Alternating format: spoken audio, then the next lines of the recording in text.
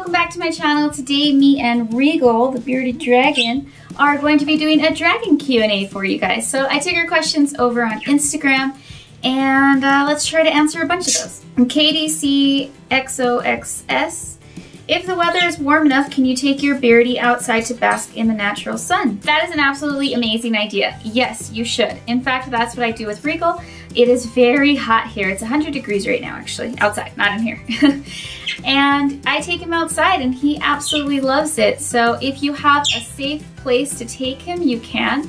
Um, remember that younger dragons can run pretty quickly. Um, and just you, make sure that there's no other animals that can harm them. But taking them outside for some sun is definitely a good idea.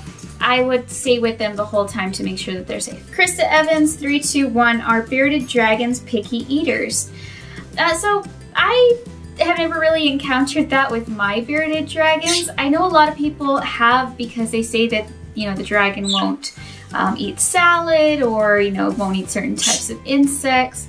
I've never encountered that with mine. Um, they really like everything, but I think it's just constantly exposing them to new things because sometimes they're a little unwilling to try something new and you just have to keep working with it. Res Rep Patton 23, what what food can you feed a bearded dragon, like what vegetables and fruit? So there's a lot of different things that you can feed your bearded dragon. I will link um, my uh, website blog so that you can see a list of safe fruits and vegetables. It's probably not even a whole list, but it's quite a few different things that I know for sure are safe. Um, that I've been able to confirm are safe, but they are able to eat tons of different stuff. So uh, check that link out. And also you can tune into my live streams when I'm making animal food and I make their salads and stuff like that. Pet tails, do they have to go to the vet on a regular basis? No, your bearded dragon does not have to go to the vet on a regular basis. Um, you just, you know, have to take them if they get sick. Females can sometimes have problems with egg laying, um, things like that. But if you take good care of your bearded dragon, they really shouldn't need to go to the vet. Sometimes things can happen that are out of your control and they might need to see a vet. But usually um, problems that come up with them are related to care. So just take good care of them. Is it safe to own a bearded dragon around babies, young kids? Uh, I think that you can own them just to be careful around the kids and babies. Um, they can be dangerous to both the dragon and the baby because little kids tend to put their hands in their mouth a lot and if they touch the bearded dragon they can actually get salmonella or other um, harmful bacterias and put them in their mouth and then they can harm the bearded dragon if they don't know how to pick them up. Olivia H. Davis, is it hard to clean up bearded dragon's fecal matter? Uh, no, it's not necessarily difficult to clean it up, but it can be a pain, especially since you keep them in such hot environments. If they poop under their basking spot and you don't get to it right away, um, you know, by the end of the day, it's like all hard and crusty and smells bad. So it's not necessarily hard, but um, it's just, yeah, they're they're they are kind of messy when they poop. It's, it's a little gross. Margarissa, are there different kinds of bearded dragons? If so, what is your favorite kind? Um, yes, there are actually uh, different species of bearded dragons. Uh, for the most part, this is the only species that's available in the pet trade. Um, I've never even really seen the other types in person. There's now different types that are the same species, but they're like different morphs and stuff. Uh, there's some that uh, don't have as many, you know, thorny stuff as Regal does. There's some that have completely smooth skin. Uh, he wants to chase Barry. Regal, behave, please. You're gonna, okay, sit, sit there, sit there. Be a good dragon, okay? And the, the one, the leatherbacks are the ones that are completely smooth. I don't like those. They look so sickly to me. Really, I just like a normal bearded dragon like Regal. He is supposed to be like, um, high yellow or something. I don't know. I don't really care. I just picked him out because I felt like we had a connection. Uh, so I'm not really too particular. Uh, I think the ones that are orange look very cool. Sophie, uh, K-H-O-F, What are the benefits to bearded dragon brumation? Why do they do it? Is it natural for dragons to do this in the wild? Okay, so yes, um, bearded dragons in the wild brumate, and it's kind of like hibernation. Basically, they slow down a lot and sleep most of the time, so their metabolic rate uh, decreases and all of that. It's beneficial to them because during those times it's cold and there's less food available. So it helps them save energy and survive through winter. However, you don't want your bearded dragon doing that in captivity. It's not something that they should really do in captivity.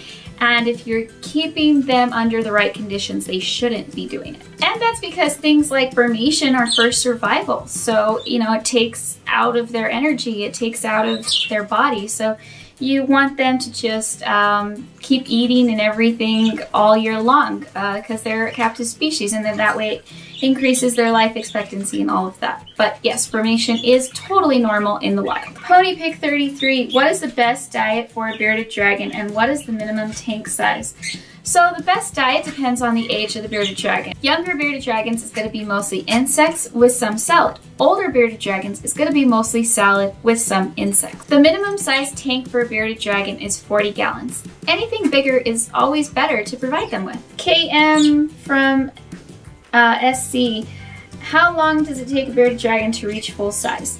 It takes about a year for them to reach full size. They actually grow very quickly. I'll try to insert some photos with dates of uh, Regal and uh, him him growing because yeah he grew really quick. Jordan's pet's life, how long do they live? This is something that's a little hard to answer because I've seen so many different answers to it. I've seen something as little as like six years.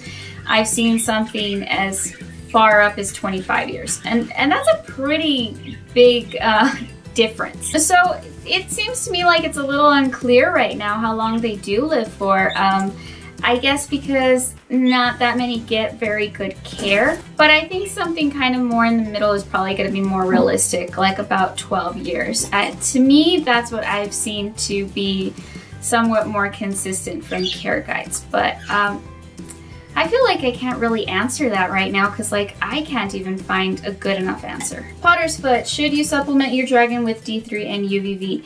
Absolutely, it is a care requirement. Um, it's, you have to do it. If you have a bearded dragon, you have to have a UVB light.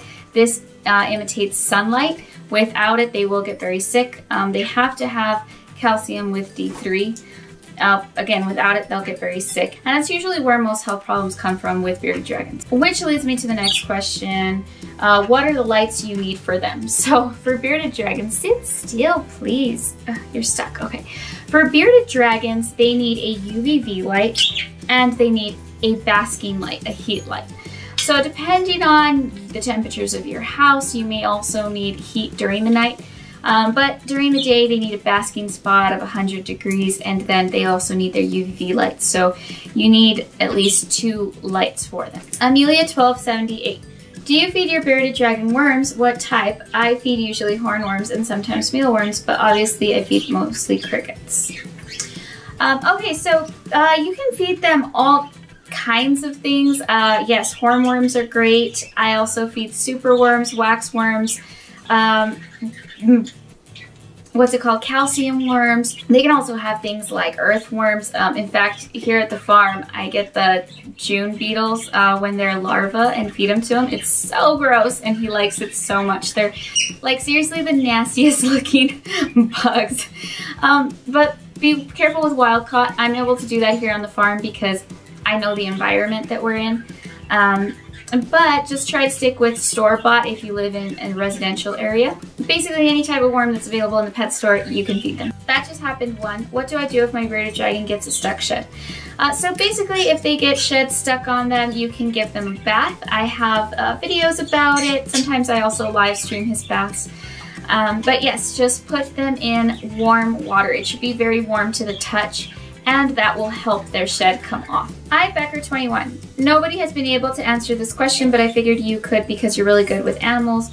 What diseases, parasites are they prone to? So bearded dragons can get the reptile mites that all the other reptiles, you know, can also get. So you have to be very careful with that.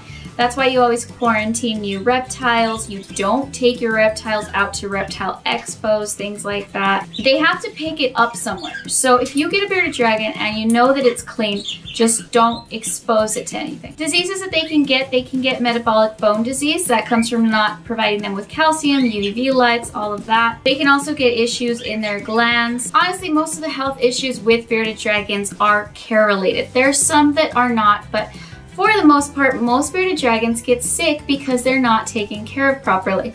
There is also issues with being egg bound in females and that's sometimes something you just can't help. It is hard to have female reptiles, especially, you know, the ones that lay even without being bred. Days one's gray. Can two bearded dragons be housed together? No, um, bearded dragons aren't social animals. Um, you really shouldn't house two together. The only time two should be together is for breeding. Um, bearded dragons are territorial, they're not social.